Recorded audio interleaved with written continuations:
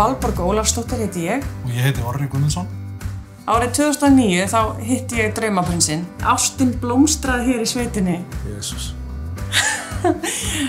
Ég bjóst ekki við því að ég erði einhver bóndakonna í framtíðinni. En vákamar hefur lært mikið af því. Það er frábært að búa í þessu samfélagi hér um dreigaföllum og við kólsvöll og þetta er bara yndislegt að fá alveg börni sínina. Náttúrun hérna er náttúrulega eitthvað sem hefur mikil áhrif á mann. Já, öll þessi náttúru tenging hefur hjálpað mér virkilega mikið til að semja og gefur kraft í tónlistina sem að við erum að gera saman.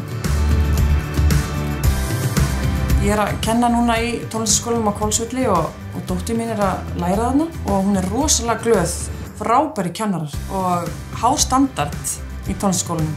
Komir alveg smá óvart. Og þó við búum kannski í litlu bæjarfélagi þá er mjög blómlegt tónlistalíf í sveitafélagi. Til dæmis á Midgard á Kólsvölli er frábært tónlingastæður og yfirlega uppselt á viðböru hjá þeim. Þegar maður er búin að búa hér í nokkur ár þá fattar maður hversu heppinn maður er að fá að leifa börnunum að alast upp hér. Það er svo mikið frjálsara og... Öryggi við það að búa í svona litlu sveitafélagi, það þekki allir alla og mikið samstaða.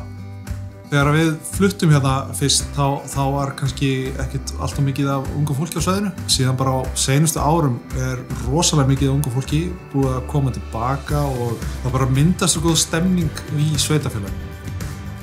Ef þið leið um sveitafélag okkar þá bara endilega skoðið ykkur um, farið inn í hjóslíð eða hingað undir eigafjöldin, skoðið bara alla þessa fallegu náttúru perlur sem við eigum hérna og mátið ykkur við svæði, komið bara þessuna hingað heim í holt.